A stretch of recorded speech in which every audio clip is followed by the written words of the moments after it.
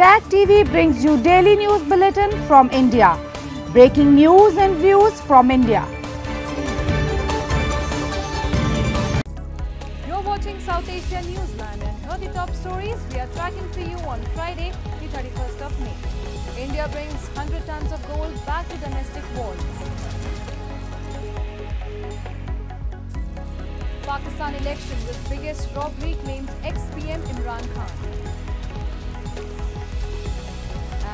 Bangladesh opposition accuses PM Hasina of destroying economy, snatching rights.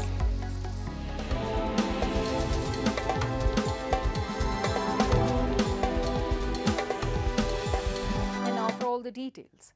In a major move, the Reserve Bank of India on Friday shifted over 100 tons of gold from the UK within the country.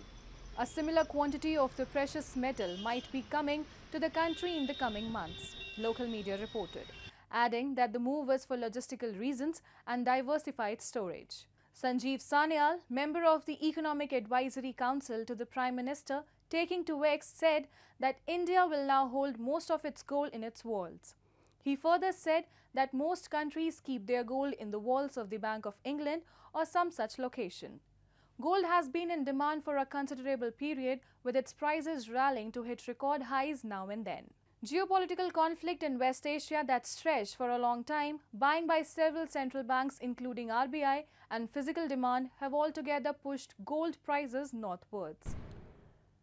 Post the government's approval, 20 tons of confiscated gold was sent abroad to raise foreign exchange reportedly to the tune of $234 million. And India once again expressed its opposition to China-Pakistan Economic Corridor, reiterating that Beijing-led project goes against New Delhi's territorial integrity and sovereignty. Answering a query regarding the increased cooperation between Pakistan and China, India's Foreign Ministry spokesperson Randhir Jaiswal said New Delhi has a very consistent position regarding the projects in Pakistan-occupied Jammu and Kashmir and that the whole region is part of India and will continue to remain so. Our position on CPEC also is well known to you. We are not in favor of it, we are against it, he added. This comes after Pakistan Foreign Minister Ishaq Dar and his Chinese counterpart Wang Yi in a meeting vowed to further upgrade and expand the cooperation over CPEC. The initiative in Pakistan occupied territory is a component of China's ambitious Belt and Road Initiative.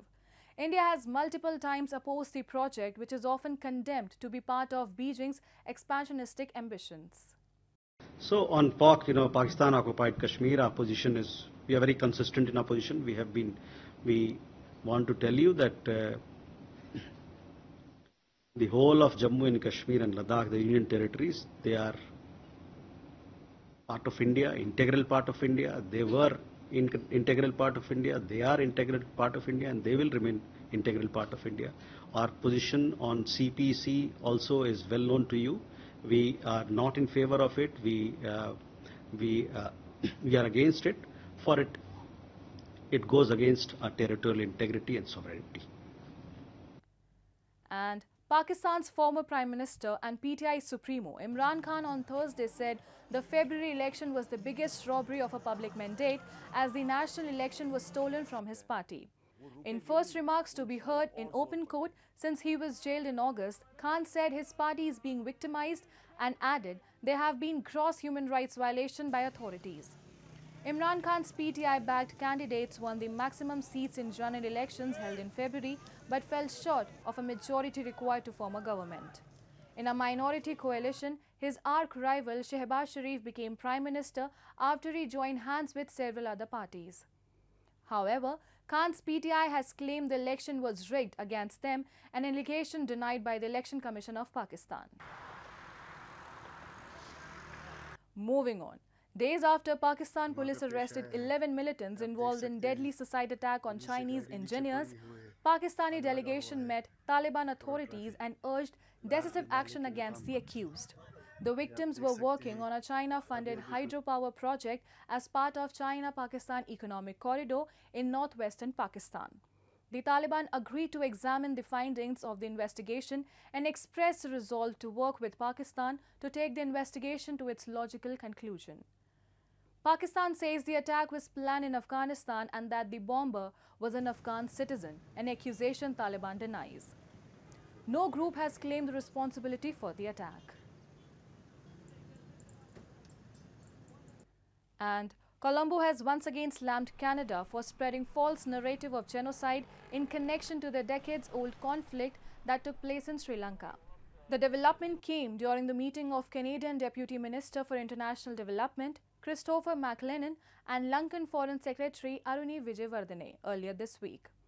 In a statement, the Lankan Foreign Ministry said Wijewardane expressed Sri Lanka's deep concern regarding high-level pronouncements made in Canada in recent years, representing a false narrative of genocide in Sri Lanka. The Foreign Secretary requested Canada to engage with Sri Lanka in a constructive manner and facilitate dialogue and reconciliation, the statement added. Earlier this month, Canadian Prime Minister Justin Trudeau had called May 18 as Tamil Genocide Remembrance Day, triggering sharp reaction for Sri Lanka.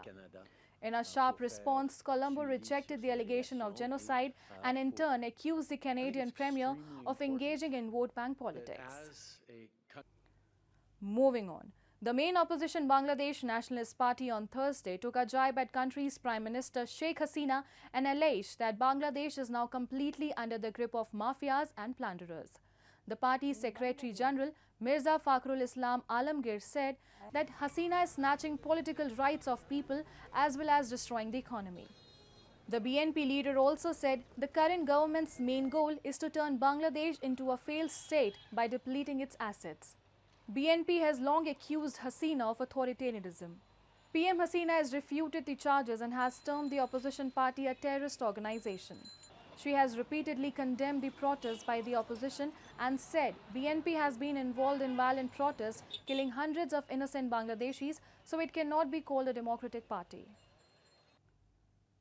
And a severe heat wave in India and Pakistan is pushing temperatures beyond 45 degrees Celsius, causing widespread health issues and disrupting daily activities. Power outages and water shortages are exacerbating the crisis, leaving people struggling to cope. A report. Residents in parts of Indian capital New Delhi are facing an acute water shortage due to extreme heat wave situation, leaving people waiting along the roads with plastic containers and barrels under the blazing sun. India has been experiencing a blistering hot summer and a part of capital Delhi recorded the country's highest ever temperature at 52.9 degrees Celsius this week. Reports suggest as many as 15 people have died so far in states of Odisha and Bihar due to suspected heat stroke.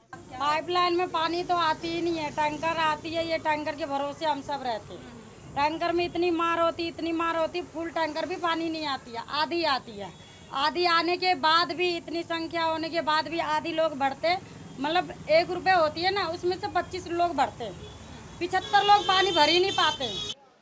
Similarly, in Pakistan's Lahore, people continue to swelter under high temperatures. At least 72 residents in the city were admitted to different public hospitals with heat stroke in the past 24 hours. Billions of people across Asia, including India and Pakistan, have been experiencing a hot summer this year, a trend scientists say has been worsened by human driven climate change.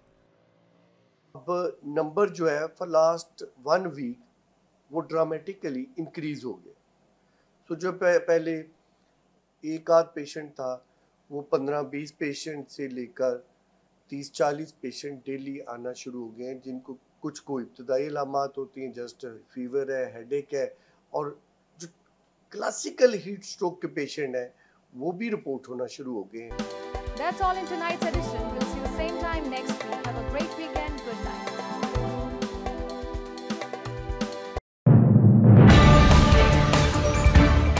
Tag TV brings you daily news bulletin from India.